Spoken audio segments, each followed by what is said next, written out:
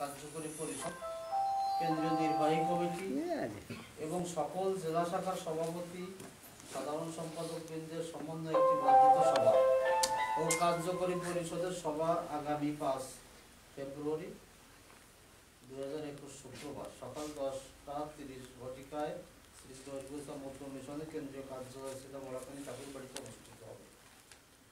আগামীকাল যে মিটিং তার আজকে মিটিং উপলক্ষে বন্ধ করে মিটিং উপলক্ষে আমি দূর দূরান্ত থেকে যে ভক্তবৃন্দ অধিকাংশই আমরা এই চিঠিতে পাঠাতে পারিনি তাদের নিকট। তো আমি মোবাইলে মোবাইলে যথাসাধ্য তাদের আমি আমন্ত্রণ জানিয়েছি যে আপনারা যদি আগের দিন হয়তো ওই দিন সাড়ে দশটার ভিতর অনেকে আসতে পারবে না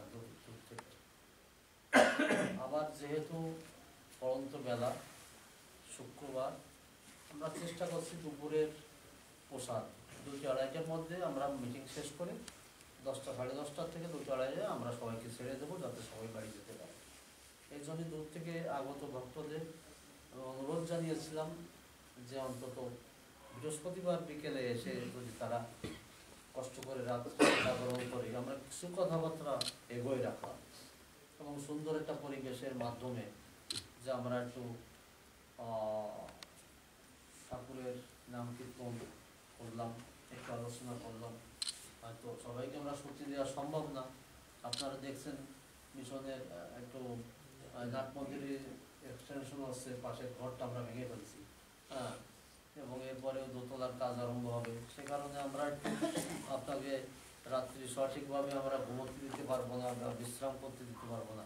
হয়তো সারা রাত কেন আমরা বসে বসেই কাটালাম হরিনাম কীর্তনের মাধ্যমে যাও আপনারা এসছেন আশাতীত আমি যে মনে করছিলাম যে যারা হয়তো আসবে, যে কয়েকজন আসতে পারে, তার থেকে আমাদের ধারণার থেকে অনেক বেশি এসছে।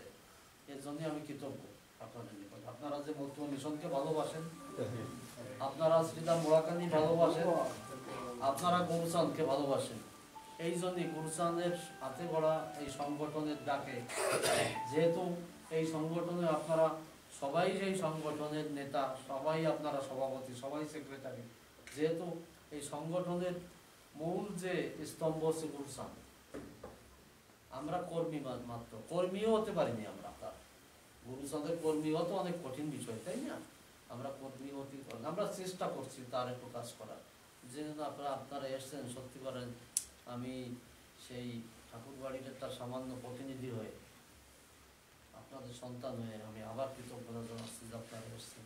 আমাদের অনেক পরিকল্পনা আছে, যেহেতু কালকে যে আলোচ্য বিষয় আপনারা, অনেক আলোচ্য বিষয়, এর মধ্যে এসে যেহেতু আমরা যে পত্রিকাটা প্রিন্ট করি মধ্য দর্পণ, বিগত বছর আমরা একটা সংখ্যা বের করি প্রতি বছর একটা। যদিও আমাদের পত্রিকার রেজিস্ট্রেশন হচ্ছে মাসিক। আমরা চেষ্টা করতে হবে ত্রৈমাসিক, অর্থাৎ তিন মাস পর পর একটা সংখ্যা বের করতে। অন্তত আগামী মহাভারতীর আছে মাত্র দু মাস। আমরা একটা বর্ধিত, একটা ভালো একটা সংখ্যা, মোটা একটা সংখ্যা আপনাদের সবার লেখা নিয়ে একটা সংখ্যা আমরা বের করতে চাই। গান, কবিতা, প্রবন্ধ, ঠাকুর সম্পর্কে। যে যা দেখতে লিখতে পারে। আমার বাবার কথা লিখব তাই না? আমার ভালোবাসার দরকার নেই। সাহিত্য রসের দরকার নেই। হ্যাঁ ভালো কবিত্বর দরকার নেই। আমরা যার যা ভাষা, যার যা জ্ঞান আছে, সেই জ্ঞান আমরা যেন লিখি। যেমন কি লিখব? আমার অঞ্চলে যে গুরু গোসাইবৃন্দ ছিল, অনেক গুরু গোসাই ছিল, আছে বা নেই, চলে গিয়েছেন আমাদের মধ্য থেকে। তাদের জীবনী সম্পর্কে আপনি লেখেন। হ্যাঁ তবু অনেক আছে, অনেক কত গুরু গোসাইবৃন্দ কত মতো গোসাই তাদের সম্পর্কে অনেক অলৌকিক লীলার অধিকারী তারা ছিল, কিন্তু আজকে হারায় যাচ্ছে তারা আমাদের থেকে। লেখনির মাধ্যমে কিন্তু একটা মানুষকে বাঁচিয়ে রাখা। এই জন্যই আমাদের লিখতে হবে। হয়তো আমরা প্রতি সংখ্যায় যদি এক একজন গুরু গোসাইকে তার সংক্ষিপ্ত জীবনী দিতে পারি, তাই না? ঠাকুর সম্পর্কে তো লিখবই। ঠাকুর সম্পর্কে কবিতা লিখব প্রবন্ধ লিখব। সেই কারণে আমি প্রথম আজকে আমি আহ্বান জানাচ্ছি, এই পত্রিকাটা যেন বাসায় রাখা যায়, তার জন্য সবার প্রচেষ্টা করতে হবে এবং আমাদের লেখা দিতে এবং তারপরে কথা হলো গঠনতন্ত্র। আমাকে গঠনতন্ত্রটা রচনা করা ছিল সঞ্জয় দাস। সঞ্জয় দাস সহ আগামী আরও কিছু ব্যক্তিবর্গ সমন্বয় সাধন করে গঠনতন্ত্র করছিল। গঠনতন্ত্রের কিছু ফাঁক ফকর আছে। চতুর মানুষ তো সঞ্জয় দাস, এখন আমরা বুঝতে পারতেছি। কেমন চতুর পাল্লায় পড়ছিলাম আমরা হ্যাঁ? ওর অনেক ফাঁক আছে, ওর ভিতর অনেক এমন কিছু পয়েন্ট রেখে গেছে যে পয়েন্টের মাধ্যমে এখন আমাকে ঘায়ল করার চেষ্টা করছে। এইগুলো যাতে না করতে পারে, যেহেতু আমাদের মিশনের যারা আগামীকালে কিছু ধারা, উপধারা কিগুলো আমাকে পরিবর্তন করার প্রয়োজন, এইগুলো নিয়ে আলোচনা হবে এবং আগামী যে আমাদের সাধারণ সভায়, এইগুলো আমাদের সংশোধনে এনে আমরা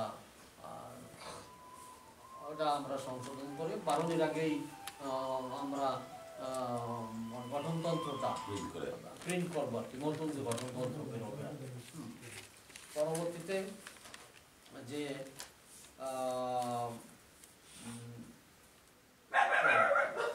এটা আমাদের যে যেটা আমাদের একটা প্রতিশ্রুতি ছিল দীর্ঘদিনের যে আমাদের একটা মিউজিয়াম করা।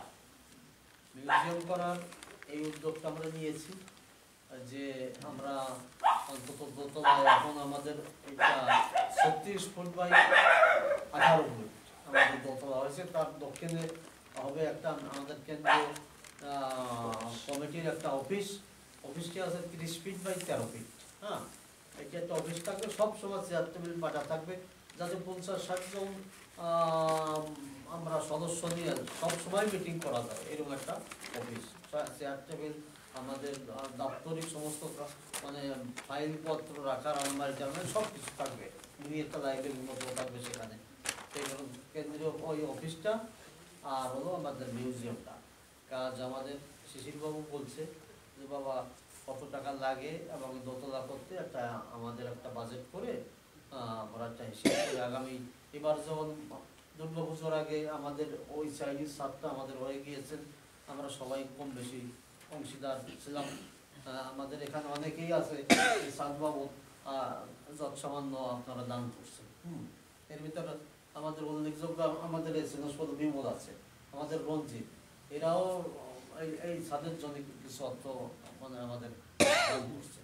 সে কারণে আমরা আশা করি যে ওরাকান্দির যে যে কোনো কাজ আমরা হাত দিলে ঠিকবে না। তারপরে দেখছেন এই পাশের একটি নির্ভরটা আমরা ভেঙে ফেলছি। এর সঙ্গে এক- হয়ে যাবে, একতাবদ্ধ হয়ে যাবে আমাদের। যত বসার করে দিয়ে আমাদের আরও বাড়বে, আরও তো আমাদের জায়গার কোনো অসুবিধা হবে না। এবং এর দোতলা আমরা ফাউন্ডেশন খুব শক্তভাবে করতেছি। তিনতলা, চারতলা দিতে পারি। দোতলায় সব রুম বাই রুম হবে। আমরা প্রতিটা রুমের সঙ্গে আমাদের অ্যাটাচ বাদ থাকবে।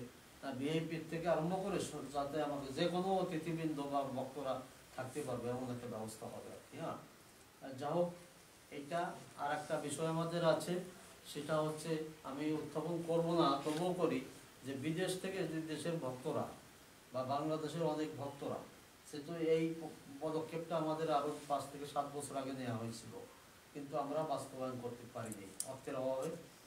যদিও আমাকে শিশির বাবু এবং অনন্ত বলছিল যে মিশনের একটা সেকেন্ড হ্যান্ড হলেও একটা গাড়ি। একটা নোয়া গাড়ি আমরা দুইজনই দিতে পারব। দশ লক্ষ টাকা হলে সেকেন্ড হ্যান্ড ভালো কন্ডিশনের একটা নোয়া গাড়ি হয় হ্যাঁ? কিন্তু ওনারা আবার পিছনে গেল, ওনাকে দাবি যে আমরা যে মিশন থেকে গাড়ি দেব সে তো মিশনের দুইজন, আমি অনন্ত আর আমি শিশির তো মিশনের দুইজন না, আমাকে দুইজনের দিলে তো মিশনের হবে না। মিশনের অন্য ভক্তরা যদি আমাদের কিছু অর্থ আমাদের হাতে দিয়ে বলে যে, আমরাই দিলাম, বাকি তোমরা দাও। হ্যাঁ? এর পরবর্তীতে বেশ কয়েক বছর আমরা স্থগিত হয়ে গেছে সে বিষয়টা। এখন আবার আমাদের বিদেশি কিছু কমিটি কোন কোন committee? Italy Italy, Singapore Malaysia Malaysia. Korea. আচ্ছা। এরা বলছে যে এখন মানে মাঝে মধ্যেই তো তারা খোঁজ খবর নেয় আমার সাথে মোবাইল যোগাযোগ করে যে আমি আসলে অসুস্থ আমি হার্টের রোগী বা আমি অসুস্থ বা বয়স হচ্ছে। আর সংগঠনের এত মানে আমাদের কার্যক্রম মানে একদিনে দুই তিনটে প্রোগ্রামও করতে হয়। আর সারা বছর যে গাড়ি ভাড়া দিতে হয় আমার হ্যাঁ? যেখানে যাই, এই অর্থগুলো তো সেই ভক্তরা দিচ্ছে। এবং সে প্রচুর টাকা, আমার আমরা দেখছি একটা গাড়ির টাকা চলে যায় ওই প্রতি খালি ভাড়া দিতে দিতে হ্যাঁ? তাতে যদি আমরা ওই এককালীন কিছু পয়সা সবাই দেই হ্যাঁ? তাতে কিন্তু একটা গাড়ি মিশনের হয়ে যাচ্ছে। তাতে আমাদের প্রচার কার্যের সুবিধা হচ্ছে হ্যাঁ? এবং মিশনের নিজস্ব একটা গাড়ি হয়ে যাচ্ছে। এই বিষয়টা আগামীকাল আমরা আলোচনা করব। তাতে আমাদের বিদেশি ভক্তদের একটা অনুদান আসছে কত পাঁচ লাখ সাড়ে চার পাঁচ লাখ টাকার মতো তারা প্রতিশ্রুতির মধ্যে দিয়েছে। এবং আমাদের যারা পটুয়াখালীর যারা আমাদের আছে বিভিন্ন অঞ্চলে ঢাকারও কয়েকজন বলছে যে বাবা আহ, উদ্যোগটা নেওয়া হোক আমরা। হ্যাঁ এবং আমি রঞ্জিত রঞ্জিতের সঙ্গে আলাপ করছি। যে রঞ্জিত বলছে যে বাবা আমি আছি, বিমল আছে, আর সঞ্জয় আছে। আমরা সবাই মিলে তুমি কি বলো তাই আমরা দেব। আমি বলছি, আমি কিছু বলব না। আমি কিছু বলব না। এটা বাবা, তোমরা যা দেবা, আমরা তাই নেব হ্যাঁ? এইভাবে, কারণ আমরা যদি একটু গাড়ির গাড়ির বিষয়টা আমি সবার জন্য অনুরোধ করব না, সবার টাকা দিতে আমরা দেওয়ার মতো যারা আছি, তাই না? আমার চার পাঁচ লক্ষ টাকার মতো অলরেডি হয়ে গেছে। তারপরে এই দেশ থেকে আমরা যা পারি কালেকশনটা করে আমরা শিশির বাবুর হাতে তুলে দেবো। যে এখন গাড়ি দিয়ে আপনারা বের করে দেন। ওই পঞ্চাশ হাজারই লাগুক, এক লাখ টাকাই লাগুক বাকি বাকিটুকু আপনারা দেন। আপনাকে আর দশ লাখ টাকা দেওয়া লাগবে না। হুম? তবুও আমরা তাদের একটা দাবি রয়েছে যে মিশনের সবাই কি দিতে পারে, তারপরে আর বাকিটুকু আমরা দেবো। এই জন্যই এলো। তারপরে সবচাইতে বড় যেটা আমাদের, সেটা হলো আমাদের গুরুচান মন্দির। আমাদের গুরুচান মন্দির। যেহেতু আমরা। আমাদের জীবনের আমি মনে করি সর্বোচ্চ শ্রেষ্ঠতম দান দান বলা যাবে না। গুরুচাঁদের ঋণ গুরুচাঁদকে দান করা যায় না। দান করা যায় দান করা যায় না। চেষ্টা করব তার ঋণ তার ঋণও শোধ দেওয়া যায়। না। না হ্যাঁ? আমাদের কিছু ইনকাম করা বা যে ইনকামের ক্ষমতা দিচ্ছে সেটাও গুরুচান আমাদের। তাই না? তার ধন যদি তার একটু দিয়া আমরা তার যায় দেওয়াও যায় না। তবুও আমরা একটু তার কৃপা যদি একটু পাওয়ার চিন্তা ভাবনা করতে হয় তাই না? এই জন্যই আমরা আশা করব আমাদের জীবনের শ্রেষ্ঠতম যে দান আবার সে দান কথাটাই বললাম যে দান কথাটা জড়িত ওর সাথে। আমরা দিয়ে আমাদের যে প্রতিশ্রুতি ছিল হরিগুরুসান মতো মিশনের পক্ষে এই যেমন চুলোর কাজ দীর্ঘদিন পরে আরম্ভ হয়েছে এরা বলছে মিস্ত্রিরা এদের সঙ্গে কন্ট্যাক্ট হয়েছে তেরো লক্ষ টাকায়। মানে মাল ম্যাটেরিয়াল বাদে ওদের- ওরা শুধু মজুরি নেবে তেরো লক্ষ টাকায় চুলো কমপ্লিট করে দেবে। হ্যাঁ। আগামী ছয় মাসের মধ্যে অর্থাৎ রথযাত্রা আমরা ধরছি। রথযাত্রার মধ্যে কাজ কমপ্লিট হবে। এরপরেই তো আমাদের কাজ। যে তার সৌন্দর্য বর্ধনে যে টাইলস বা মার্বেল পাথর এইটি আমরা প্রতিশ্রুতি দিয়েছিলাম মিশনের পক্ষ থেকে আমরা করি সে কারণে আমরা গত এই করোনার আগে যে মিটিংটি হয়েছিল এই মিটিংয়ে আমরা সম্ভব আমরা আলোচনা করছিলাম এক একটা অঞ্চলের থেকে একটা প্রতিশ্রুতি এসেছিল হ্যাঁ। এর ভিতর যেমন আমাদের একজন দাতা ইতিমধ্যেই আমাদের ভিতর থেকে চলে গিয়েছে আমাদের শ্যামাবাবু বড় হ্যাঁ সে এক লক্ষ টাকা দান করার তার কথা ছিল সে নাই সে চলে গিয়েছেন এইরকম আরও আহ, অনেকেই আমাদের ছেড়ে চলে গেছেন ইতিমধ্যে। তবু আমাদের এই কাজ খুব ব্যাহত হবে না, এই কাজ চলবে। আরও আমি আশা করি যে যা প্রতিশ্রুতি দিয়েছে, এই আমাদের প্রতিশ্রুতির আমাদের বেশি অর্থ আমাদের আসবে। কারণ এই প্রতিশ্রুতির অনেক বেশি আমরা অর্থ পাবো। একটু যদি মন মানসিকতা আমাদের থাকে। সে কারণে এই বিষয়টাও আমরা আরেকটা বিষয় আছে। অনেকে আছে, যেমন শঙ্কর গোসাই, সে যদি ধরে যে, আমি দুই লাখ টাকা দিতে চাইছি, তুমি এই দেবা এই দেবা। ওনাকে কিন্তু সুবিধা হয়। কোনো ব্যাপার না। কিন্তু অনেক অঞ্চল আছে, তাদের রসিদের দরকার হয়। তাই না? রসিদের দরকার হবে। সেই কারণে সেই গৌসাল মন্দিরের টাইলস ও মার্বেল ক্রয়ের জন্য যে কালেকশনের রসিদও আমাদের নিকট আছে। যদি কোনো গোসাইরা বা কোনো ব্যক্তি যদি রসিদের প্রয়োজন হয়, আমাদের নিকট থেকে আপনারা রসিদ সংগ্রহ করবেন। আর কি এই জন্যই এটা বলে রাখলাম যে নতুবা রসিদ যেমন একটা ডকুমেন্টস থাকা, এটা যেমন আদায় করারও সুবিধা আর যে আমি রসিদটা নিচ্ছি তারও একটা সুবিধা। সুবিধা মানে কি জানেন? পঞ্চাশ বছর পরে ওই রসিদটা ঘরে থাকলে, তার ভবিষ্যৎ জেনারেশন দেখবে যে আমার বাবা বা আমার ঠাকুরদা গুরুসান মন্দিরের জন্য এই একশো টাকা, দুইশো টাকা বা পাঁচশো টাকা দিয়েছিল একটা বড় ডকুমেন্ট হ্যাঁ? এই জন্যই রসিদ সংগ্রহ করা। যা হোক এই বিষয়টাও আমরা কালকে দেখব।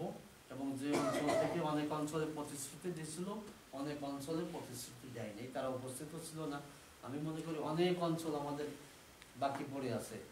তারা এগোয়ে আসতে হবে এবং আমাদের নিজেদের টিম প্রতি অঞ্চলে অঞ্চলে যেতে হবে। এবং আর একটা বিষয়, আমাদের অনেক অঞ্চলের মিশনের কমিটি কমিটির মেয়াদ ইতিমধ্যে শেষ হয়ে গেছে। সেই অঞ্চলগুলোতে আমাদের কমিটি করতে হবে, নতুন কমিটি যেমন আমাদের এই কুয়োকাটা অঞ্চল, কলাপাড়া অঞ্চলের থেকে সুশান্ত ওরা আসছেন। আমাদের কলাপাড়ার কমিটির মেয়াদ শেষ হয়ে গিয়েছে এবং কুয়োকাটা সম্মেলনও বিগত দুই বছর হচ্ছে না। করোনার কারণে এক বছর আর এক বছর বিভিন্ন কারণে। এই জন্যই আমাদের কলাপাড়া অঞ্চলের কমিটিটা করা আমার একান্ত দরকার। আমাদের কখন আসছেন? আমাদের সুশান্ত আসছেন। এরা এদের বড় বড় দুটো মতর দল এবং ওই অঞ্চলে এরা নেতৃত্ব দেয় মতদের এই কারণে এরা আসছেন। এরা একটা পরিবেশের সৃষ্টি করুক। আমরা কখনের বাড়ি বসি আমরা ওই সুশান্তর বাড়ি বসি। বসে সব সবাইকে দেখে। আমরা চাই মিশনমুখী যারা মিশন সলিড মিশনমুখী যে লোকগুলো তাদের ডাকতে হবে তাদের নিয়ে আমরা কমিটি করব। ভেজালপন্থী মতো আমরা দেবো না। এ দলে ও দলে থাকবে আর মিশনের ক্ষতি করার চেষ্টা করবে এই রকম লোক নিয়ে আমরা কমিটি আর করব না। স্পষ্ট কথা আমাদের। হ্যাঁ। আরও যে যে অঞ্চলে আমাদের কমিটি নেই, আমাদের কাজ করতে হবে সেই সমস্ত অঞ্চলে। এই কারণে আমরা রাত্রে আমরা কিছু আলোচনা করব। প্রতিটি অঞ্চল থেকে যারা আসছেন, আমাদের সাতকেরিয়া থেকে আসছেন, আমি পরিচয় কিন্তু কেউ দেই না অনেকে ভাবতে পারে, বাবা আমার কথা বলব না। আমি তবুও আমি বলব যেহেতু আমরা মো- আরও প্রচুর লোক হবে কালকে, হয়তো সবার পরিচয় দিয়ে, দেওয়া সম্ভব হবে না। তবুও আমাদের আজকে একটা ভালো ব্যক্তি পরিচয় দিক। তার মধ্যে উল্লেখযোগ্য যেহেতু আমাদের অঞ্চল ভেদে যারা মতো ধর্ম প্রচারক আছে বড় বড় গোসাই আছে এখানে এক একটা অঞ্চলের নেতৃত্ব দিচ্ছে। আমাদের বৃহত্তর খুলনা যশোরের থেকে আমাদের দশরথ গোসাই মতুরত্ন দশরথ গোসাই আমাদের আসছেন আমাদের হরিপদ গোসাই আমাদের আম, এটা গোসাই ঠাকুরদাস গোসাই তারপরে আমাদের মনু গোসাই আপনারা জানেন সেই এক ডাকে যাকে আমরা চিনি সেই বলতলির কেওয়া বিনা বইটে পার হয়ে গেলেন সেই মনু গোসাই।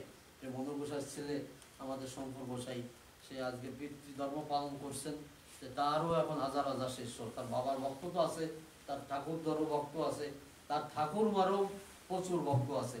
আজকে সেই শঙ্কর গোসাই আছে। আমাদের মতুয়াদের গর্ব। যে আমাদের একটা ছেলে সাবরেস্টার হয়েছে এবং সে ব্যক্তিগতভাবে স্বনামধন্য আজকে মতুয়া সঙ্গীতের জগতে যার নাম সবাই জানে যে সঙ্গীতের উপর আমরা মতুরত্ন পদক দিয়েছিলাম আমাদের সদানন্দ বড়াল আমাদের আর এক স্নেহস্পদ আছে বিমল। বিমল মৃধা। ভালো সুকণ্ঠ গায়ক এবং ভালো উচ্চপদ সরকারি সে কর্মকর্তা ঢাকায় আছে হ্যাঁ? তার মন আছে ঠাকুরের জন্য করার কিছু করার। সে আসছে। আমি বলছিলাম বাবা তোমার যাইতেই হবে সে আমার কথা রাখছে। হ্যাঁ? আসছে। আমাদের মোরলগঞ্জ থেকে আসছে সুখদেব ঘোষাল হ্যাঁ? আমাদের মিন্টু তো সবাই জানে মিন্টু আমাকে সাংগঠনিক সম্পাদক। আমাকে নিত্যানন্দ মজুমদার মিশন থেকে আমি আমি যতদিন আছি সংগঠনের সাথে জড়িত নিত্যবাবু ততদিন আছে। মানে নিত্যবাবু আমারে আসছিল একদিন পরীক্ষা করতে। বাবার মৃত্যুর পরে আমি আগুন জড়া গেছিলাম উনি একটা টিম নিয়ে আসছিল। আমার বয়স তখন কত? বলেন। পঁচাশি সালে ওখানে বাবা উঠে গেছে। হয়তো সে আশি বা সাতাশি দিকে ছিলাম আমি আগুন জড়া দক্ষিণারঞ্জন বাড়ি উকিল বাড়ি। হ্যাঁ। উনি আসছিল ওনার একটা গ্রুপ নিয়ে। প্রফেসর। যে আমার পরীক্ষা করার জন্য। ঠাকুর কি জানে কি বোঝে? যাও হোক আমাদের প্রশ্ন বানে আমার বিদ্ধ করছিলেন। যাও হোক আমি যে উত্তরগুলো দিয়েছিলাম ওনার সন্তুষ্ট হয়েছিল সেখান থেকে আমার সাথে আছে নিত্যানন্দ বাবু।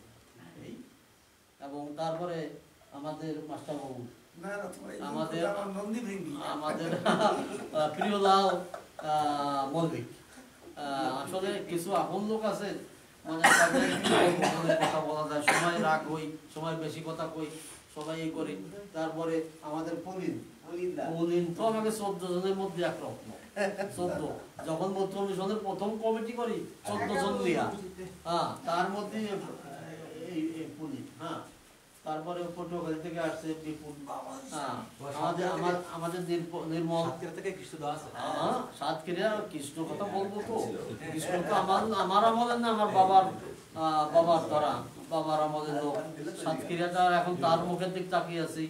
আমাদের আর যে সেই বিরানব্বই সালের যে মধ্য সম্মেলন ঢাকার, তার দুই তিনজন হতা মণি মনু গোসাই, আমাদের সুতলের নগেন গোসাই, দক্ষিণ অঞ্চলের মণি গোসাই, বগার মনীন্দ্রনাথ গোসাই, তার সুযোগ্য পুত্র শচীন গোসাই।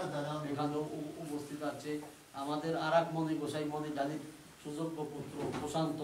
এখানে আছে, আমাদের সুশান্ত আছে আমাদের সেই দীনদাসের যে বংশধর যে যার বাড়ি বসে আজকে মতুয়া নাম হয়েছিল তাই না? ইয়ার তিনি যাকে বলে প্রভহরি চান ভিন্ন সম্প্রদায় মোরা মতু আখ্যান সেই দীনদাসের বংশধর আমার কৃষ্ণ দাস হ্যাঁ আমাদের এই নতুন এক ভক্ত আসছে এই যে বিধান। এই কয়েকদিন আগে তার বাড়ি আমরা অনুষ্ঠান করে আসছি গত সপ্তাহ। এটা হলো কোন গ্রাম যেন বাসায় বাসায় আমাদের ঢাকার বসাই এখন ঢাকার বসাই যদিও কাঠালিয়ার। এখন আমাকে এটা সবাই চেনে কম বেশি আমাকে সবাই চেনে আমাকে আহ, আহ, সুশীল চাঁদুরি সুশীল গোসাই আমাকে একটু বাসা আছে ঢাকায় মিশনের যার ভাড়াও দিতে পারি না ঠিক মতো সেই বাসা পাহারা দেয় আর বাড়ি গেলে ওনারে চাপে। আমাকে তো ধরতে পারে না বাড়ি গেলে। উনি ওই বাসায় থাকে ওনারে চাপে আর কি এই। এইরকম আমরা সবাই আছি। আমাদের এই যে সরজিৎ কাকু আছে আমাদের চন্দন আছে গৌতম আছে অনেকেই আছে। আপনারা কিন্তু আমি যাদের নাম বলতে পারলাম না আপনারা নিজেরা আমাদের এই দেবাশিস আছে কই দেবা কই আমাদের সম্রাট আছে যে সব সময় ক্যামেরা নিয়ে থাকে আমাদের পরেশ আছে এই জন্য অন্য অন্য ভক্তরা অনেকের নাম বলতে পারলাম না আমি আপনারা কেউ মনে কিছু করবেন না ইয়ং জেনারেশনের কিছু ভক্ত আছে। আমাদের নির্মলের কথা বলছি আমাদের ওই পেডা বাবু আছে কুমুদ বাবু আমাদের আমাদের হ্যাঁ, তারপরে আমাদের খোকন আছে বঙ্কিম বল আছে। হ্যাঁ, নীলকান্ত। প্রবীণ ভক্ত আমাদের আমাদের নগেন আছে হ্যাঁ। যে দীর্ঘদিন আমার সাথে নগেন বৈষ্ণব এদের তো বোঝা যাবে না আমাদের আশিস আমাদের আশিস আজকে আমতলির প্রতিনিধিত্ব করতেছে হ্যাঁ। ওরা হলো নিবেদিত প্রাণ। ওরা মিশন বলতে হবে না আমতলিটা ওরা আশিস এক নম্বর একনিষ্ঠ। কর্মী। সে কারণে যারা উপস্থিত হয়েছেন হয়তো অনেকের নাম বলতে বললাম অনেকের বলতাম মৃত্যুঞ্জয় অনেকের নাম বলতে পারলাম না। আপনারা ক্ষমা সুন্দর দৃষ্টিতে দেখবেন। আপনারা কষ্ট করে সারা রাতটা অতিবাহিত করবেন। তারপরেও আমরা যথাসাধ্য চেষ্টা করব যে আপনাদের অন্তত শীত নিবারণের জন্য কিছু কাগজ দেওয়া আর সে কারণে আমি মনে করি আমি যে আলোচনাটা করলাম এর উপর ধারাবাহিকভাবে আপনারা কিছু মন্তব্য করবেন বা আপনারা মনের কথা আপনারা পর্যায়ক্রমে আমরা কথা বলব তাই না? দু একটা গান কীর্তন হবে একটু কথা বলব। তা আমরা এখন একটা কীর্তনের দিক যাই। হুম? কে গাইবে?